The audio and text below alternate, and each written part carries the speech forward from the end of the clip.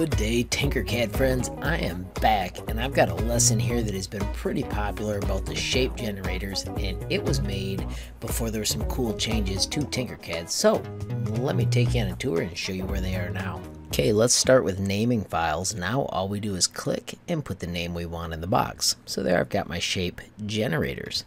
You can see I've got the cool extrusion over here.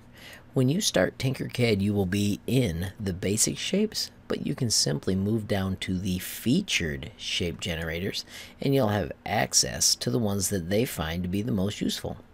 The one that I taught you about was the extrusion. This little tool is awesome because you can come over here to the shape and you can drag these handles and make them into something totally different.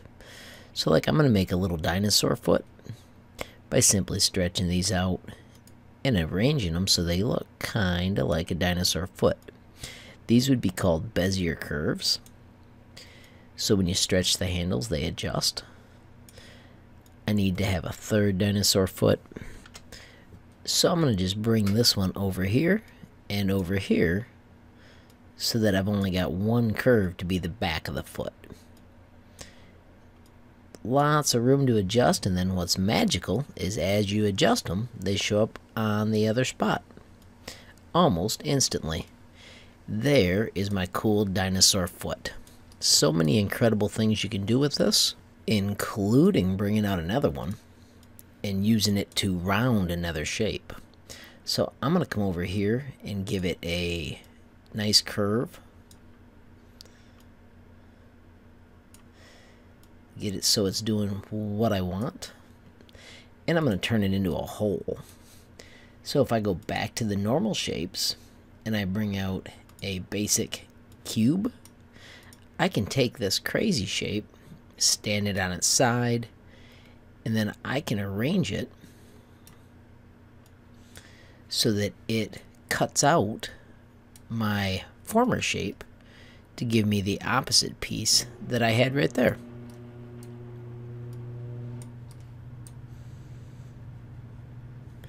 If I want this to be higher, like you can see I was trying to subtract that, I can just go do it over on the extrusion. And now that awesome shape can be grouped. And I have made some crazy custom, like you could do molding or something that you're putting in your house.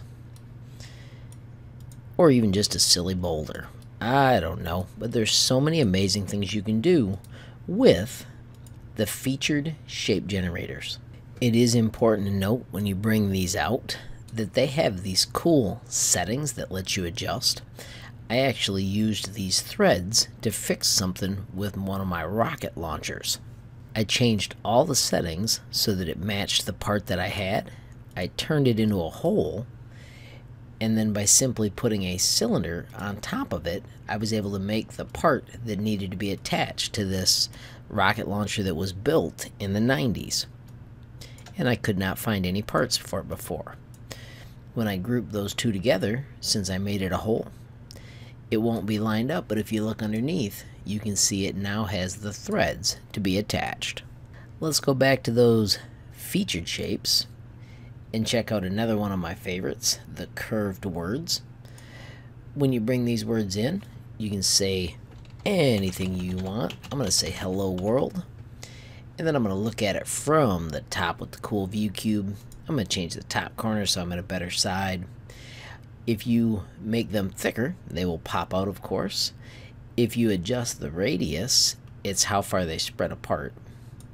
Sometimes typing numbers is easier.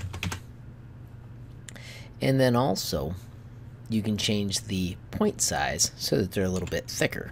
So if I go to 15, then they'll actually bump into each other with all these shapes, it's important to give it time to actually render because uh, you're asking the computer to do a lot more with these fancy shape generators. Let's check out page two. They've got the snap and socket, the adjustable box.